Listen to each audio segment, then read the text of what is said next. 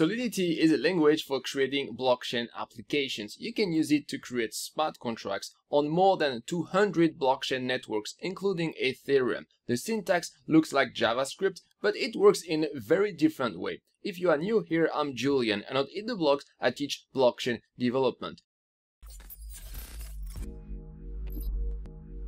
To get started with Solidity, you go to Remix, an online IDE for smart contracts. You go to the file editor and you create a new file for your smart contract. The file extension for Solidity is SOL. You specify the version of Solidity in the Pragma statement. You define a new smart contract with the contract keyword and the name of your smart contract. You can define variables and their value will be stored on the blockchain. To define variables, you have to specify their type. Solidity is what we call a statically typed language, which is different from JavaScript. To interact with these variables, you can create functions. To read a variable, you can define a read-only function. The function signature is slightly more complex compared to JavaScript. In the function body, you return the variable and that's it. You can also define functions to modify the variables of your smart contract. In this case, the function signature is a little bit more simple. And inside the function, you can modify the variables of your contract and the new values will be saved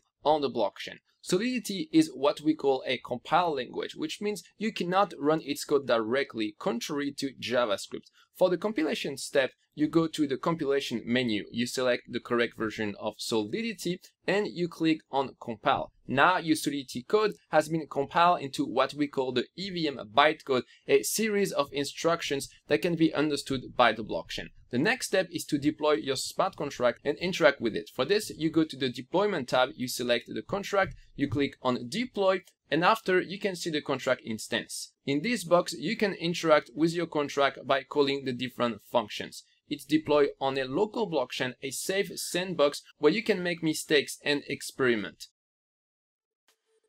That was a very quick introduction to Solidity. If you want to dive deeper in Solidity, I also have a full playlist on Solidity. The current version of Solidity is 0.8 and this series uses Solidity 0.5, but it's fine because the language didn't change that much. I will see you there.